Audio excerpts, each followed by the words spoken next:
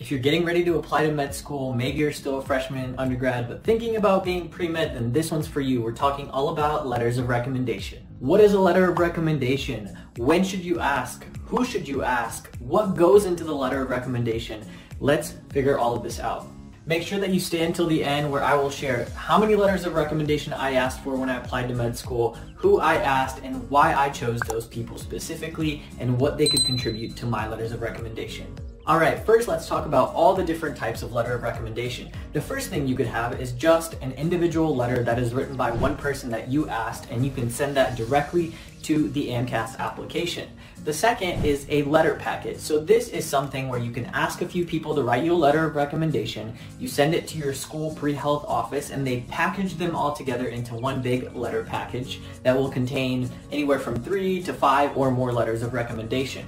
And finally, we have the committee letter. So this is for schools that have a pre-health office that are going to write committee letters. In this case, what happens, your pre-health office will write a letter of evaluation for you and they will also package that with all of the other letters from your individual letter writers, put it into one big committee letter and send it off to the med school application. But no matter what, you're going to need individual letters from people that know you really well. So let's talk a little bit more about what goes into the letter. Now there are guidelines for letter writers, but basically anybody who can write you a good or strong letter of recommendation will have to include some of the following things in the letter. First, they have to include their relationship with you. That means how long have they known you for, in what capacity, were they your professor, were they a doctor you shadowed, were they your employer, or somebody you volunteered for.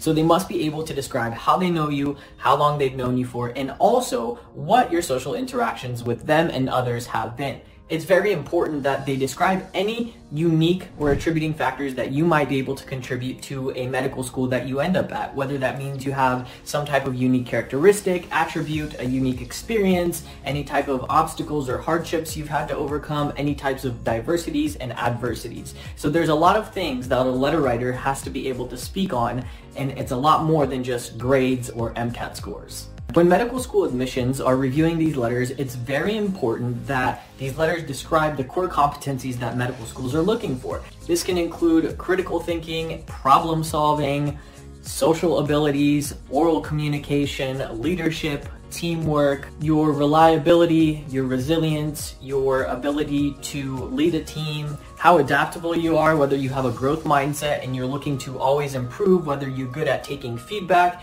and also if you are oriented towards service for others and improving others' lives as well. Now the great thing is there's a great guide for letter writers by the AAMC. I'll link that down below. So if you know already who you want to write your letter, you can send this guide directly to them and they can basically use that as a reference of what they can talk about and how they can speak highly and provide a strong letter of recommendation. Now, when it comes to timing, there's three great things that you can do to make this a success. One is that you can ask your writers way in advance. So if you know that your AMCAS application needs to be submitted on June 1st, you need to ask these writers probably three to two months ahead of time because you never know how busy they are. If they're a professor, they probably have to, you know, lead a class or create a class. If they're a physician, they have lots of patients to see and go to work every single day. So make sure you're getting yourself the best chance by asking these recommenders way, way in advance to give them the time to write a really good letter.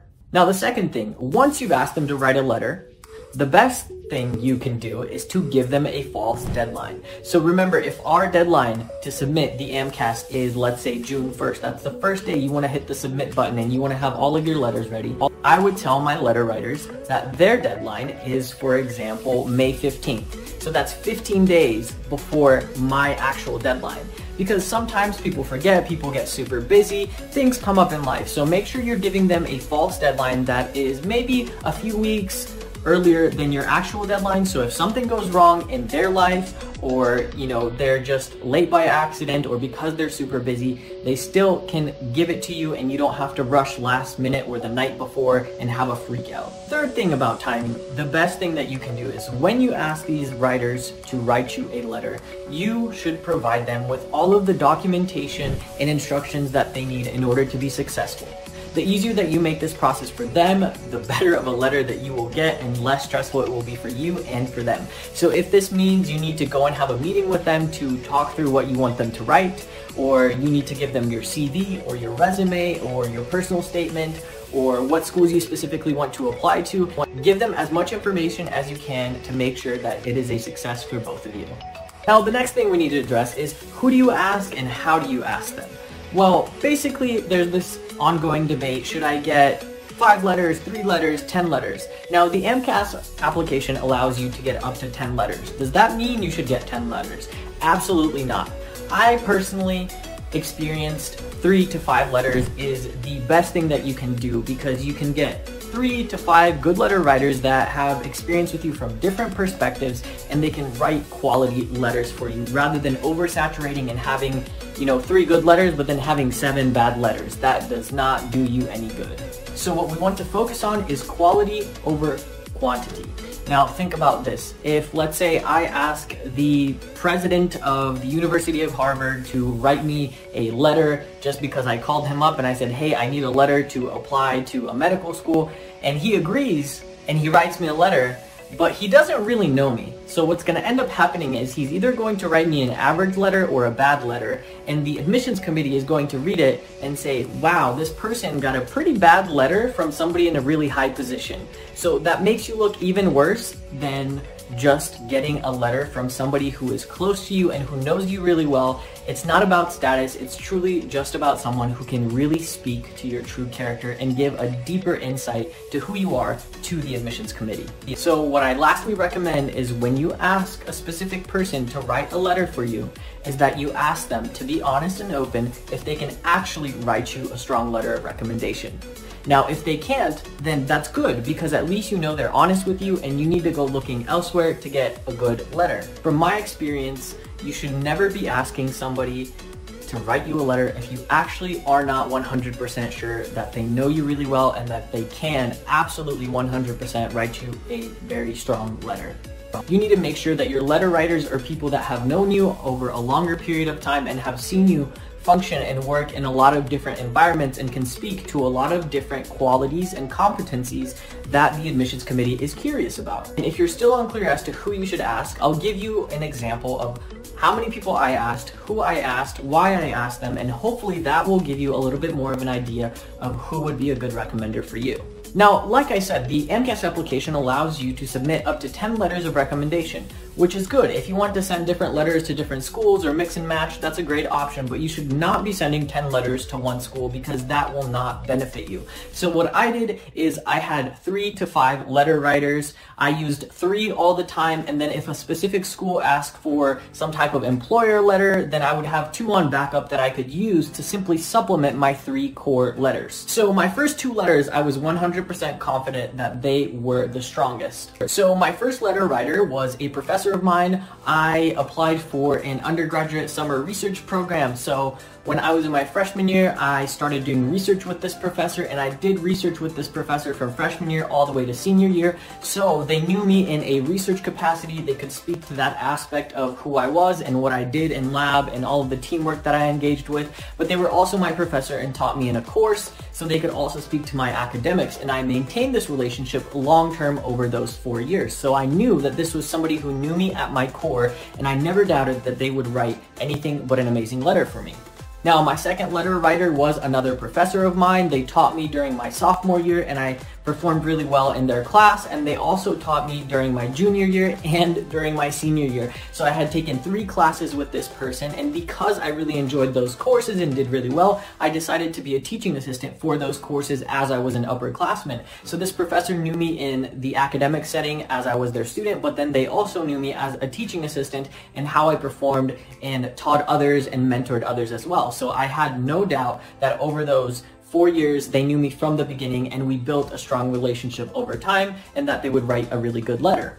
Now, those were my two academic letters and I knew they were going to be strong and my third letter was also another core letter. This was written by a doctor. Now, when I was younger, I started seeing this doctor for personal health problems, so I was their patient and they saw me longitudinally over the years, so they had an established relationship with me as a patient And then because they were my doctor, I actually asked multiple times if I could shadow. So I had um, multiple shadowing hours over the span of a few years. So they, this person knew me in two different capacities. One as a patient, um, so that's more of a personal relationship, and then two as a shadowing student, so they could speak to me on a more personal level rather than an academic level. And I thought that having a doctor write me a letter was a really good thing, especially for medical school admissions. Now next, I had two supplemental letters that I kept to the side if I needed and felt like I needed to add to a specific school to send them out to just add more perspective to my narrative and my story. So my fourth letter was also written by a physician.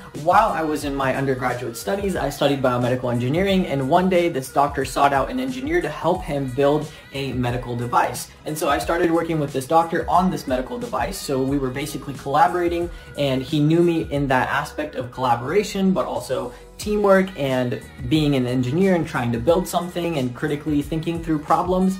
But then I also really worked well with this person, so I asked if I could shadow them, so I observed them over the span of a few months to a year, so they knew me in two different aspects, as somebody they collaborated with, but also somebody who shadowed them. So once again, I felt like this was a good supplement outside of academia. And finally, my fifth letter writer, there are some schools that might ask for a letter from an employer. So when I was in my freshman year of undergrad, I started working for a tutoring center and I worked there as a grader and tutor from my freshman year all the way until I graduated college. So I asked my employer to write me a letter of recommendation. And this is somebody who saw me evolve in the workplace. I started off just as a grader and tutor, but over time they saw that my performance was really good. They started valuing my work and my input, and I started training other people and also managing the, the practice and the tutoring and organizing other employees. So I kind of evolved into a leadership position and I knew that my employer could really speak to those qualities as well. If you can see there's one common pattern in all of my letters, I would say is that I had multiple points of interaction with these people over a long period of time. So they knew me in multiple capacities and functions and environments rather than just one and were able to speak to a facet and create a narrative of who I was, what my values and beliefs were, and how I worked with others. If you stayed all the way to the end, thank you. I hope you found this helpful. And if you want to stay tuned for more tips, how to apply to med school, and so much more, make sure you hit the like, subscribe button, and I'll see you guys next time.